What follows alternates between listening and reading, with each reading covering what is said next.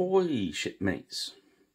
This is just going to be a quick video show you some of the uh, effects I was talking about last week. I did these orks on the last Friday's live paint along and I said I'd do a kind of finished one with the like rust effects and dirt and stuff. How I'm going to dirty these guys up because as you can see at the moment they're all pristine and clean, which is very unorky.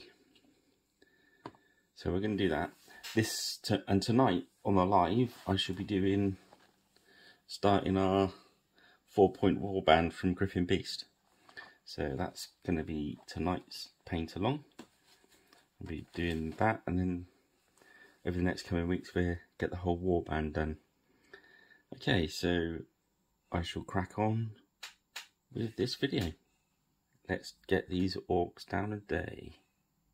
Okay, for this first bit I'm going to be using the Typhus Corrosion. This is good old Games Workshop one. And what we're going to do, don't use many good brushes that, just a bit of medium, just get my brush wet. And we're looking to anywhere there's going to be dirt and grime. This is kind of going to serve us well. Let's just make that looking dirty. But there any crevices and anywhere where there's going to be grit. This is kind of like a, it's got a bit of grit and a bit of texture.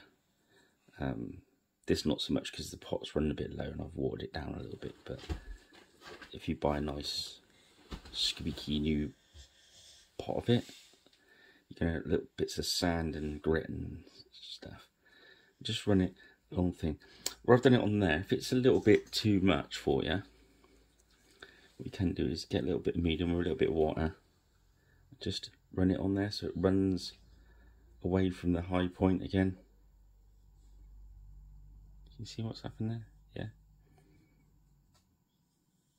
a bit around the steel toe caps. We're not too worried about covering up the metal effect because we'll be sorting that back out. So, yeah, just bash a few on there. I'm going to go through the whole batch like that. Yeah, I'm going to get it right up into there. This is for the um, more sort of gunmetal and silver areas. You can put a bit on the on the goldy brassy bits if you want, but we're going to do that with some different stuff.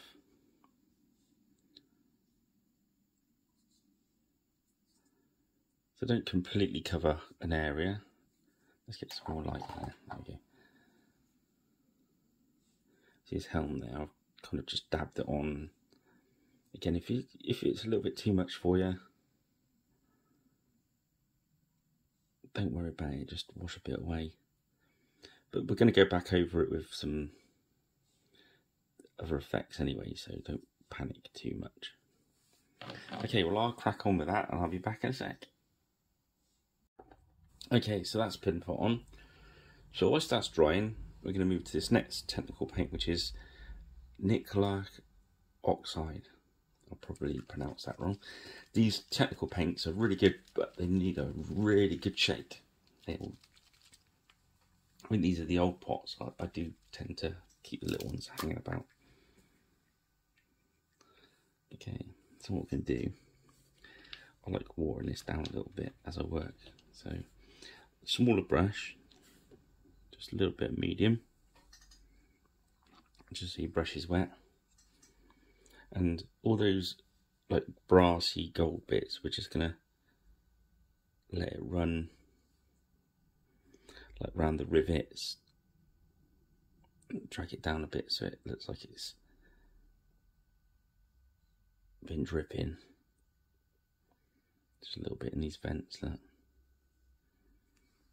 Can you see that? Yeah. I'm just going to run it down the grooves on these bullets.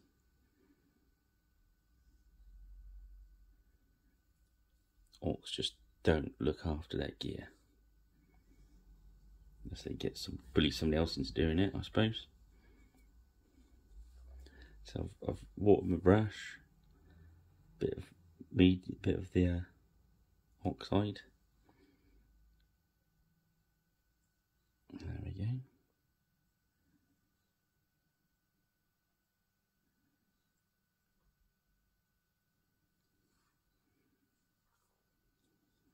There. Anywhere you think can water can sit and uh, give that ver verdigris effect.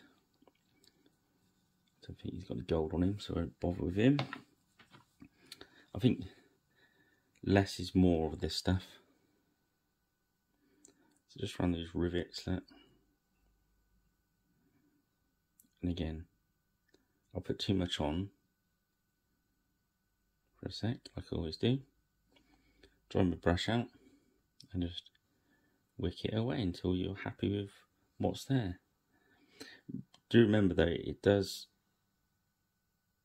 it's very water. I'm using a very watery concentration here, so a lot of this will disappear. So if there's a big pool, or pardon me, don't panic too much.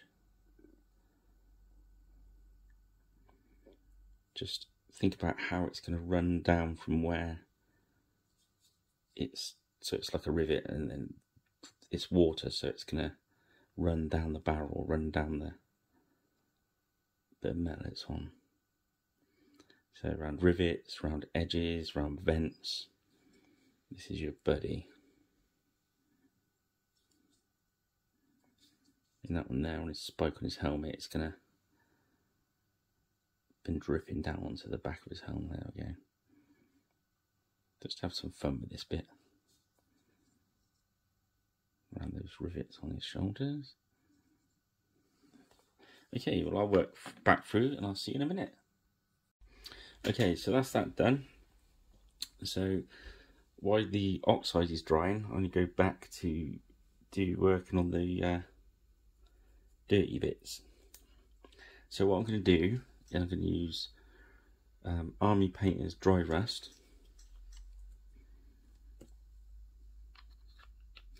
But instead of dry brushing it, I'm going to water it down. So I'm going to get a good blob of that. That's just my uh, dip.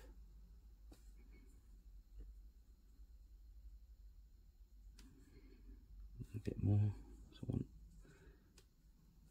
One, edge of this really watering. I can leave that edge kind of quite strong.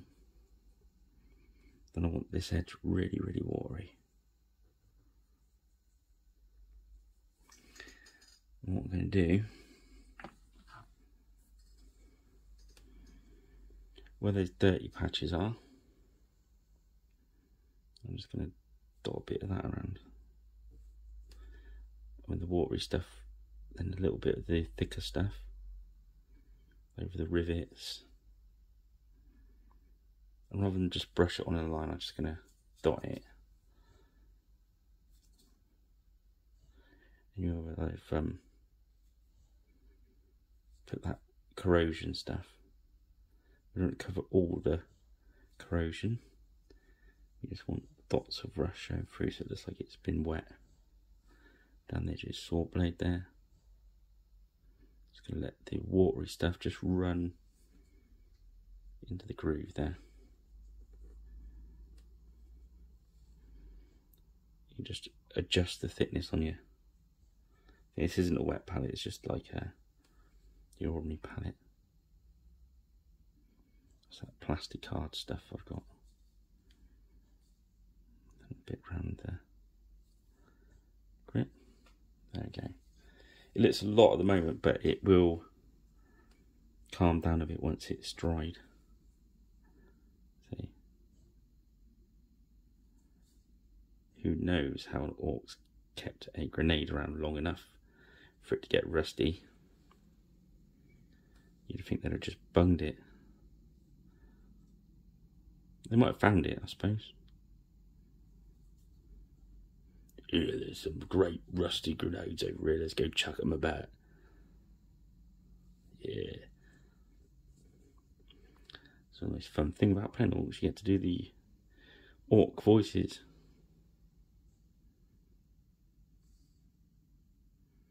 Much to the annoyance of the other players around the table. Which again, as an ork player, is just what it's about.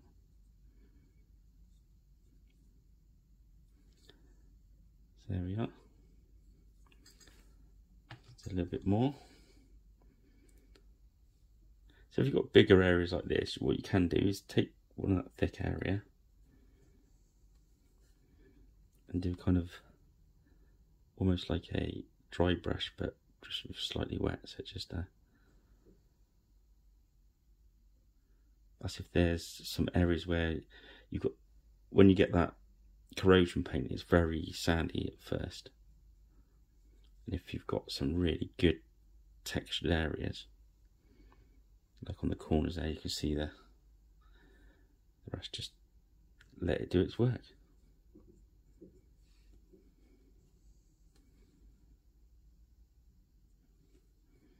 Or you can get stronger like that. Another way to do different rust, and just use a very tip of your brush and just work it about like that.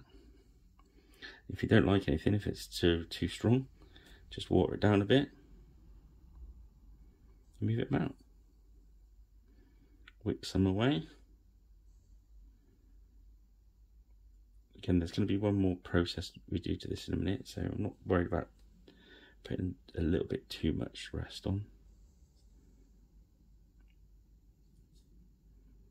Experiment, get some on there.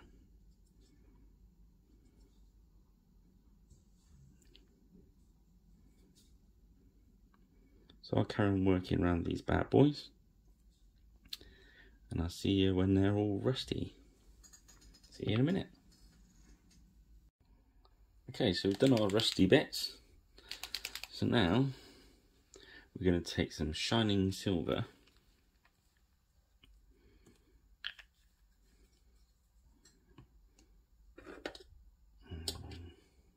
Yes, use a little brush.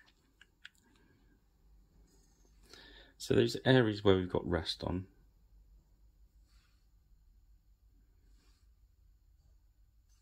what we can do is get a little bit of silver.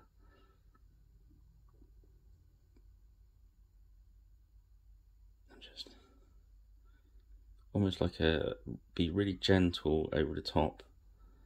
So it's it's like a, a dry brush I, I think I used I used to call it overbrush, and I don't know if that's a thing. So it's like a dry brush technique. Just to bring back, because when you rust, get some rust scraped off along these edges, it like looks really shiny. So you don't want any too much of it. Hope you can see that all right on the camera. So it's like on anywhere where there's an edge or the rust is going to be rubbed off, it's going to look really shiny. So along these teeth of the saw blade, you say you just want some silver, a little bit of silver on your brush, just just enough to do some like edging on it.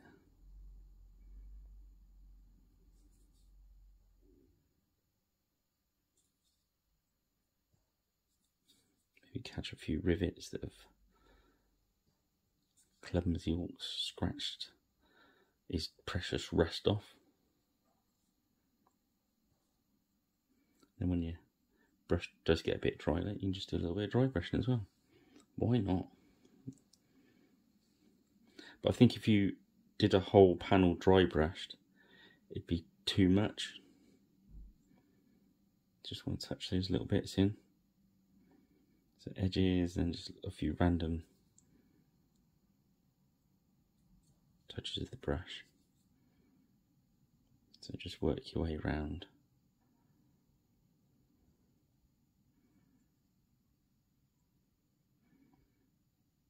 As I'm doing there.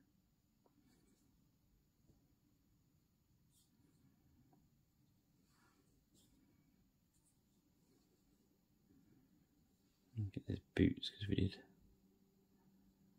mess their boots up a bit.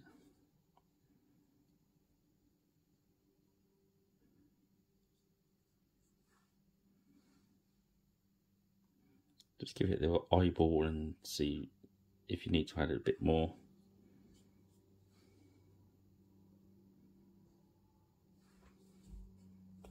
There we go, that's what we do. Let's do a little bit more on camera.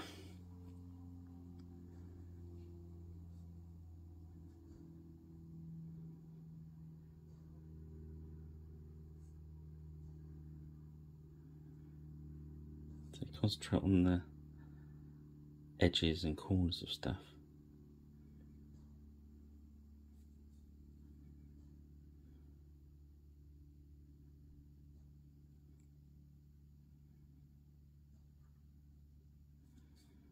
on these bigger areas of rust, you sort of almost like stipple it on.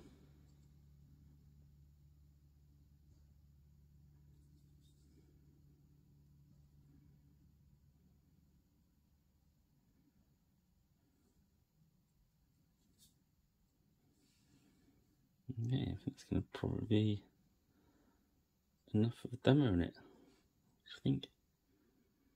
So what I'll do is I'll get these finished up, get them lacquered, do some stills for the end of the video. Don't forget to subscribe, like, hit the notification bell, comment, that sort of stuff. Um, I hope that's been informative. And those that have been coming along on the Friday night paint alongs, I'll see you later to start on that saga box. I've not touched it yet, so we'll have like an opening, unboxing, and uh, start like to prep. So we can get it all prepped up tonight and see where we go. Radio, so that's pretty cool and I'll see you in the next one. Cheers, shipmates.